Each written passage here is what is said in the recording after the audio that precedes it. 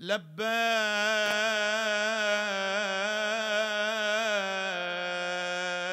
كان ذبحتي تسلم الشيعة.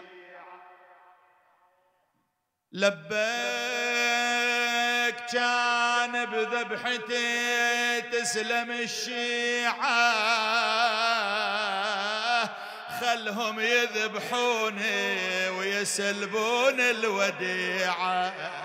وان كان ترضى بذبحة حسين ورضيعة. لبيك خلنا ننذبح ونشيد الدين.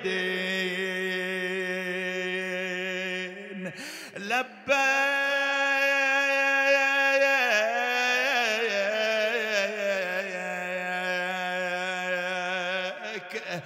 لبيك كان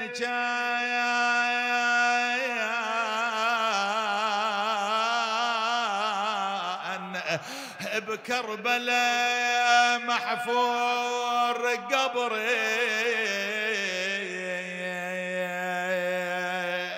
والله لبيك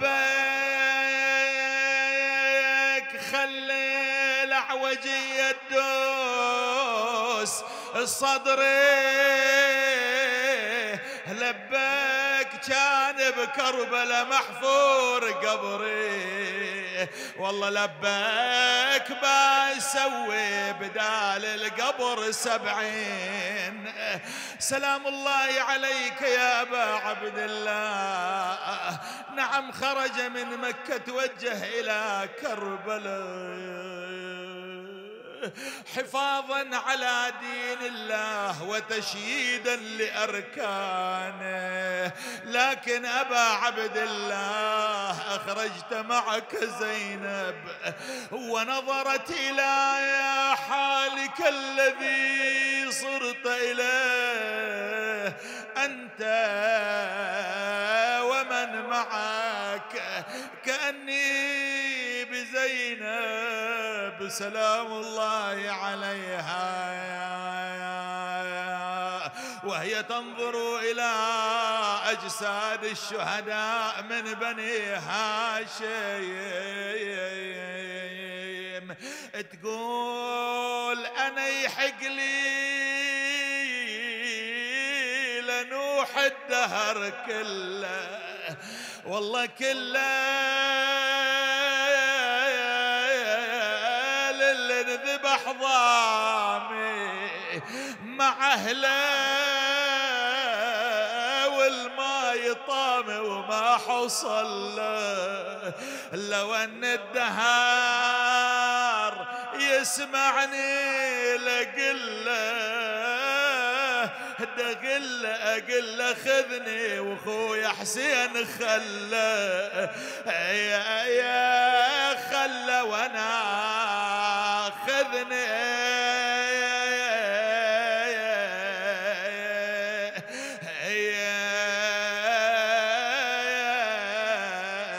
محله تنظر إليهم بعمر الورود. الكل شبان.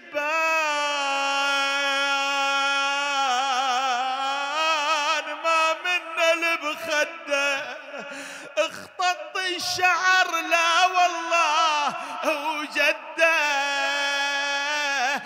بين أدرك بلوغه وبين بعده وبين بالمهد يلعي ويفغر. سلام الله عليك يا زينب.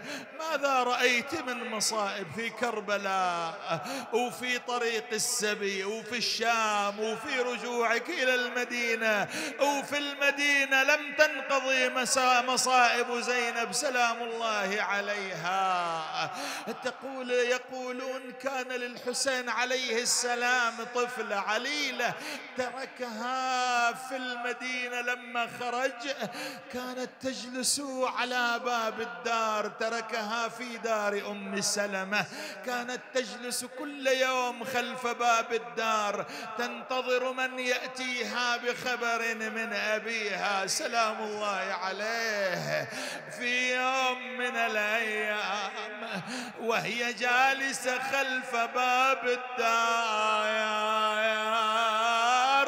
وإذا بالباب تطرق. قامت تهرول إلى باب الدار. لعل رسولا من الحسين قد أقبل. فتحت باب الدار تفاجأت البنت. تنظر مذهولة. تقول قمت للباب لنعمتي على الباب.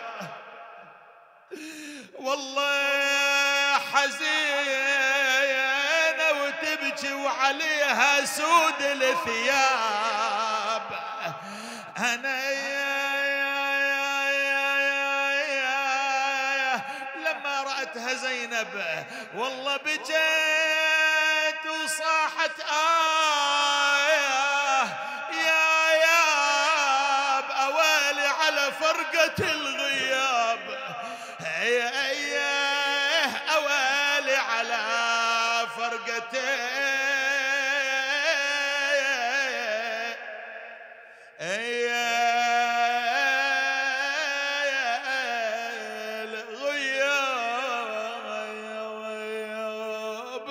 أخذتها زينب إلى حضنها ضمتها قبلتها. ماذا تسأل؟ ماذا تسأل من زينب؟ تقول عم لماذا تلبسين سود الثياب؟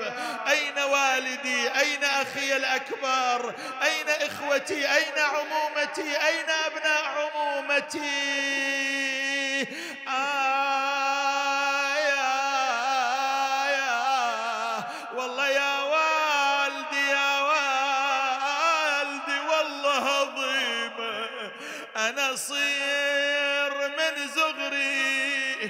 يتيمة يتيمة أثار الأب يا ناس.